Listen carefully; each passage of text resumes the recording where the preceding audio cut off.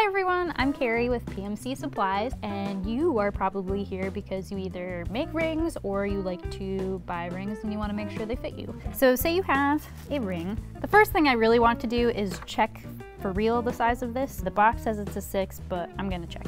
So I'm gonna use this mandrel and yes, it, it is a size six. Perfect. And then I want to check the finger that I want this ring to be on. And I think I want it to be about a seven. So here is a tool that you would use to check a ring size.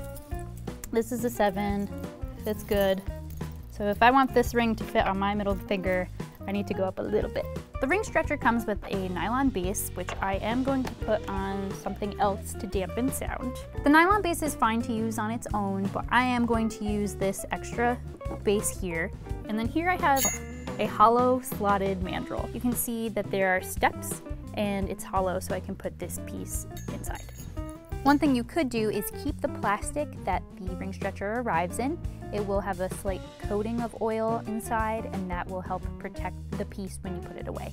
So here's my ring, put it on here.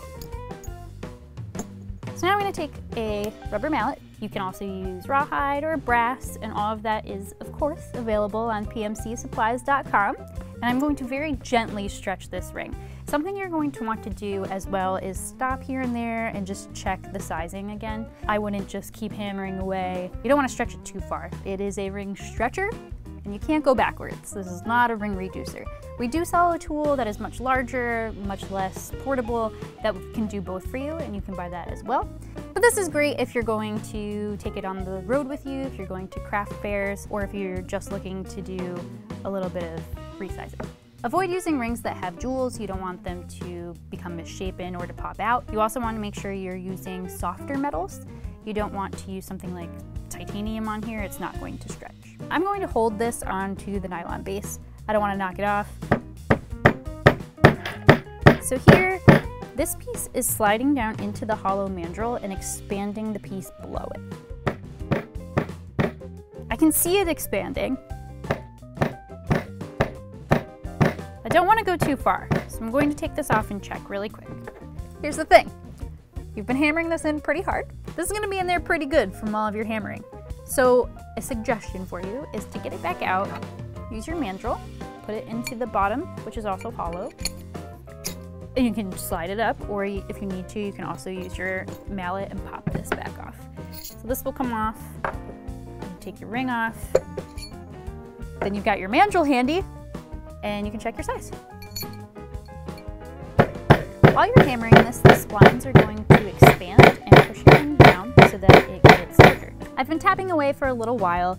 You don't want to rush this, you do want to go gently, you don't want to stretch the ring too quickly. So now I'm going to check my progress.